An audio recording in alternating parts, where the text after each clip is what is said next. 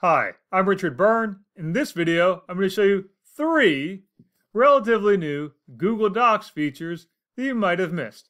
Let's go ahead and take a look here at my sample Google document. And the first feature that we want to look at is how do we break up this page? Deals with how to break up this page. So you can see here I have two sets of questions and you know one way that you could break up this page is to go to the insert menu and put in a horizontal line, and now you've broken the page that way. But I want to make sure that this second set of questions always appears on a second page in my document. So to do that, I'm going to go to the insert menu and I'm going to now use the break function. And instead of doing the old continuous section break, I'm going to do section break next page. And now it's created a second page for me. And I don't have to worry about hitting the return key and manually spacing these out. I just did that by using that little insert break and using the section break next page. Now, another feature of Google Docs that was added this fall that's really quite helpful is the ability to add a watermark to your document. To add our watermark, we're going to go to the Insert menu, and we're going to select Watermark, and let's select an image. Uh, we can use a Google Drive file. We can go into our Google Photos. We can do a Google image search, or we can upload from the computer. In this case, I'm going to upload a document from my computer. And I'm going to use this image as my watermark.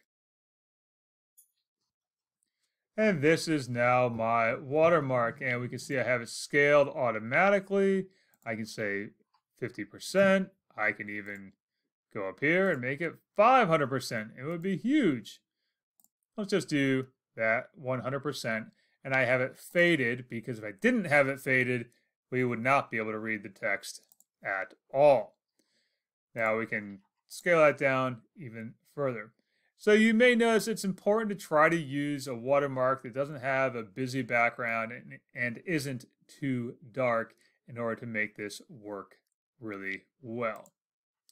Now the last feature is an update to the citation tool. So let's take a look at how that works.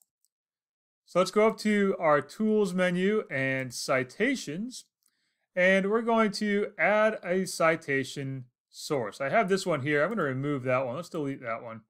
I'm going to add in a new citation here. Uh, we can choose our style, MLA, APA, or Chicago, and we're going to add our citation source.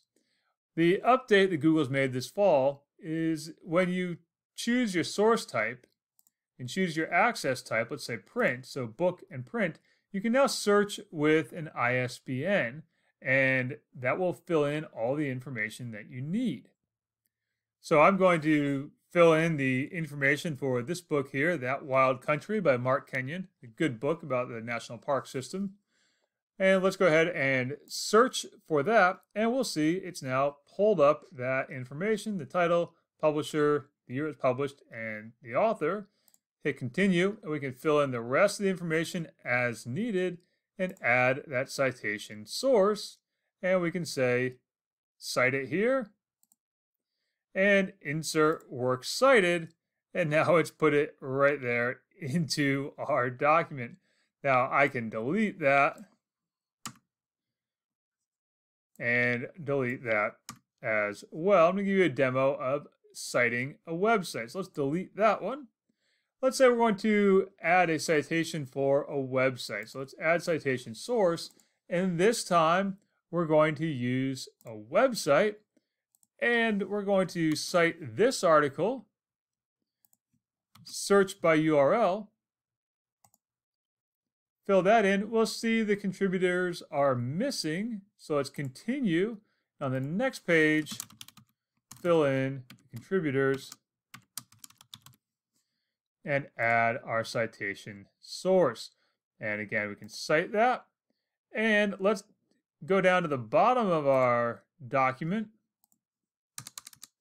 and insert works cited. And so now we have our works cited down here at the bottom of the document, where again, we might use the insert break and we'll say section break next page to make sure that that's on another page and not at the bottom of one of the other pages.